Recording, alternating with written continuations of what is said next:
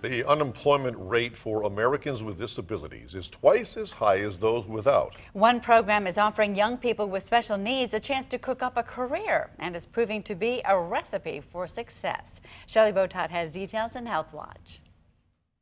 Students are cooking up a storm for a future career. One program is helping young people with disabilities prepare for the workforce.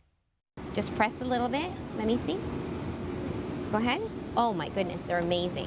Chef Wendy Zacka runs a smooth kitchen. The majority of her workers are students with developmental disabilities. I've never set limitations. I, I treat them as if they were typically developing, and it seems to work for us. The students, ages 14 to 22, are part of a culinary arts high school program that teaches them independent living skills. It's a predictable environment, so our students understand where are they going, what they are supposed to do.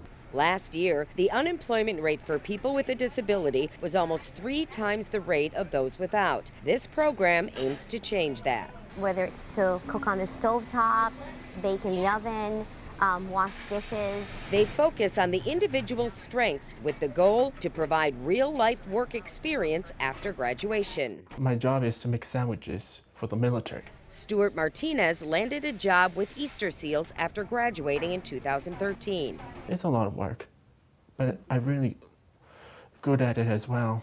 These young people not only feel a sense of responsibility, but a major sense of accomplishment. Allow them to work in the kitchen with you. Allow them to clean the floor. Allow them to wipe down counters. Let them be productive. Organizing, cutting um, vegetables, gathering and organizing ingredients. Knowing they can do it gives them a confidence they need to move forward, cooking up an exciting career path.